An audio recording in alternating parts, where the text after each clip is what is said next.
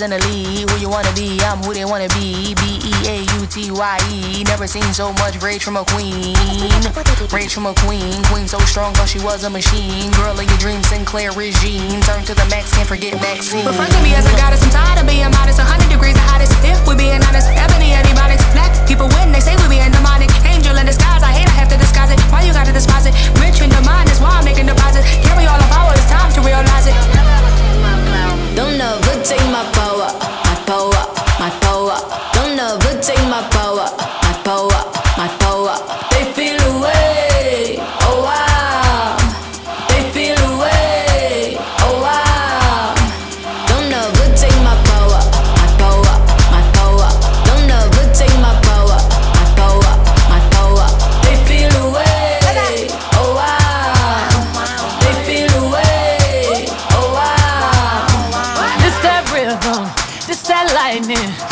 That burn, this ain't no perm. This that nappy, this that herb, this that kinfolk, this that skinfolk, this that war, this that bloodline on the front line, ready for war. Where you gonna run?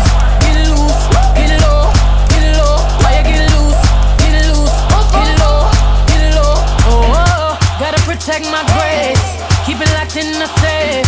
Don't make me get back to my ways. My power they never take. Don't ever take my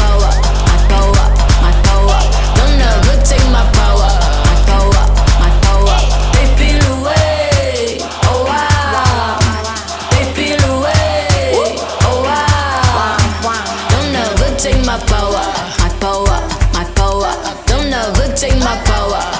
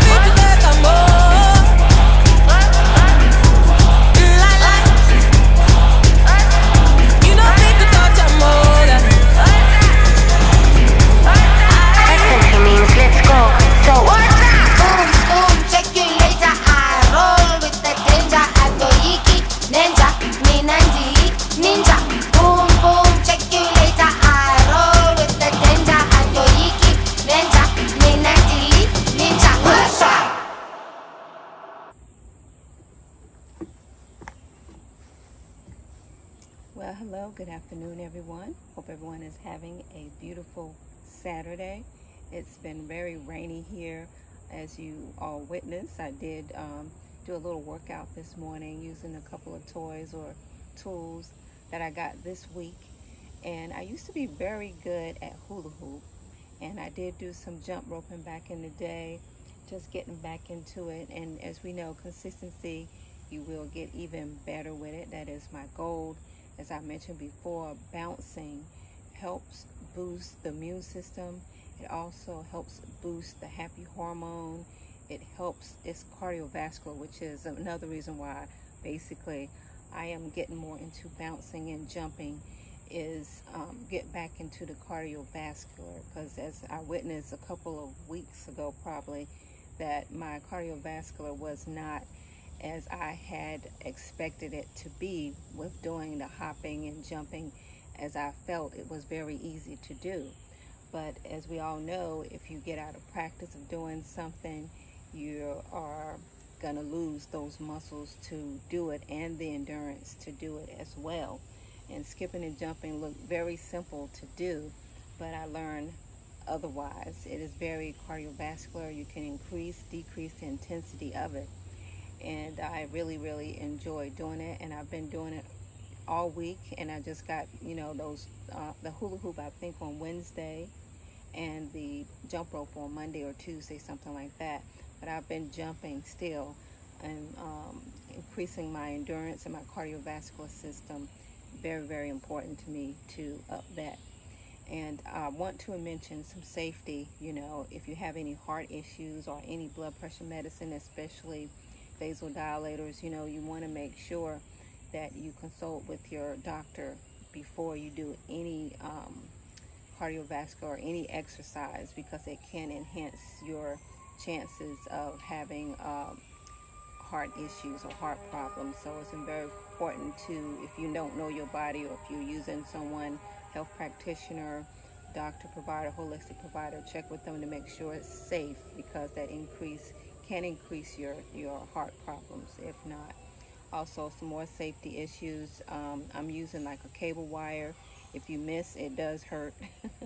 and the hula hoop, it does have some weight on it. I can spin it on my neck, but I decide I won't do it on um, video because it can be very dangerous. You can crush your um, your windpipe and your voice box, so be very very careful with that.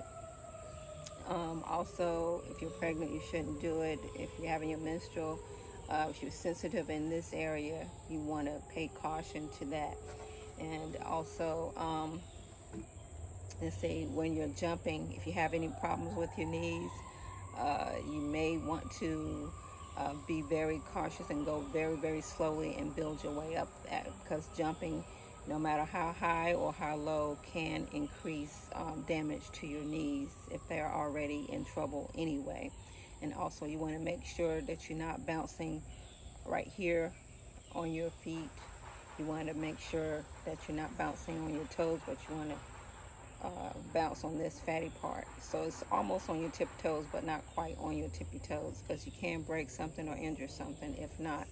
Uh, like now, you know, I've been bouncing for the last few days and, you know, because I bounce on my, this part of my, my, my um, feet, I, I'm not having any foot problems. So just caution. Those are just some precautionary measures to uh, take heed to, you know, your health. You have to know what health you're in, and also some safety mechanisms when, you know, using the jump rope, just for precautionary measures for yourself. Um, I wanted to come forth and just do a little bit more talking about depression because, like I said, you know, mental illness seems like it's going to be on the rise, and hopefully, more people are going to be talking about it because it is a, a great concern because some people um, you know, even in the mental health field, are concerned about the rise in mental health concerns or mental illness. You know, to see those butterflies. anyway, um, depression, like I said, so many topics I can talk about with depression. And I did one, hello, hello, you want to be in the video? I talked about that um, last week well, the week before about some issues of depression. But when I want to talk back today, it's not coming from a judgmental place, but for contemplation and for thought. Don't invite depression to you. And what I mean by that, and I have and been told that I was depressed, but my mind didn't feel depressed. And I know that depression can come subconscious, and I know it can be metaphorical and it can be metaphysical but my mind was not in a depressive state, but my body was. And when you're in this depressive state, when you're lack of nutrition, lack of serotonin or melatonin, your body can feel like it's being drawn downward. It's a real feeling. It's real incapacitating. And um, you can't move, you can't walk, you can't get out of bed, literally, because of those lack that D3 that thyroid could be very, very low, and that can be confused with depression, which was my issue. Um, depression and sadness and normal sadness are two different things. We know that you can be sad normally about certain situations. I'm not saying ignore your feelings. You should always address and let yourself go through the process of sadness.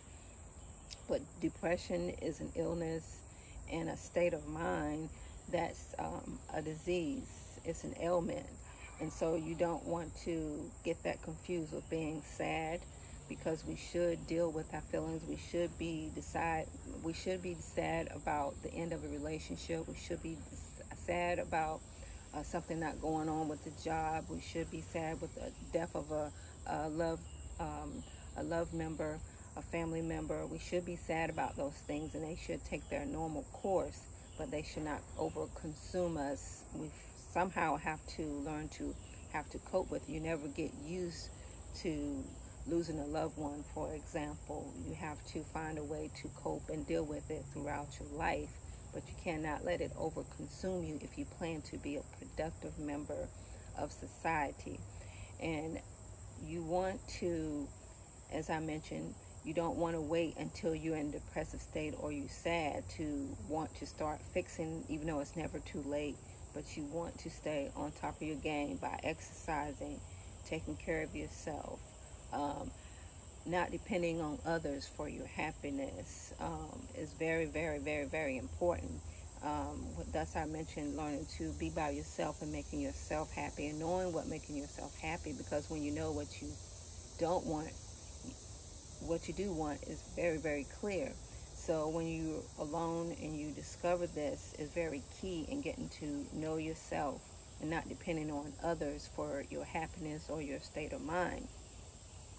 And uh, I just wanted to come forth and just differentiate that because it's so very, very, very important for us to know what depression is and not inviting it into our lives, not abstaining and obtaining that state of mind, you know, because it can take you places that you don't want to go and to be.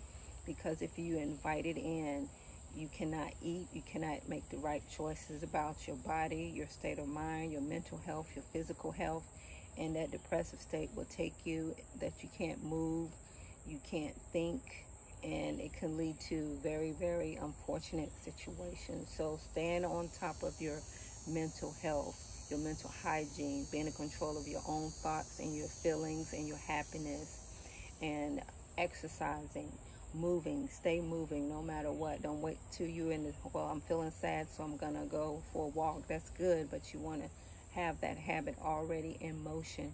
You want to eat whole foods and try to avoid as many, um, as much junk food as possible because sugar deteriorates the body. Um, that's, that's, that's not even an argument. It does deteriorate the body and that includes with, in my opinion, even though some may argue, including some fruits. You know, uh, you have to be very careful about the sugar consumption that you allow into your life. So I just wanted to come forth and just touch on it. It's part two, and there'll be several, several, several addresses about, you know, taking control and not inviting depression into your life. It's normal to be sad. Own your emotions, own your feelings, but don't stay there. Keep moving. Make good choices about your life. Depend on yourself. As I tell my kids, you know, nothing, nobody belongs to you. My children don't belong to me. They are um, on borrow, on loan, and I'm enjoying every minute of it.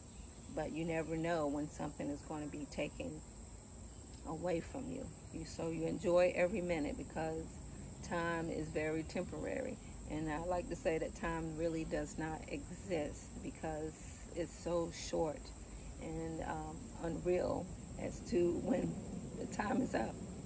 Anyway, hope this made sense and very, very helpful for someone. Like I said, make healthy choices, stay active, stay moving, and don't invite depression into your life. But own your emotions, own your feelings, and own whoever you decide to be. Anyway, thanks for visiting the city, and I hope that you have a beautiful rest of your day.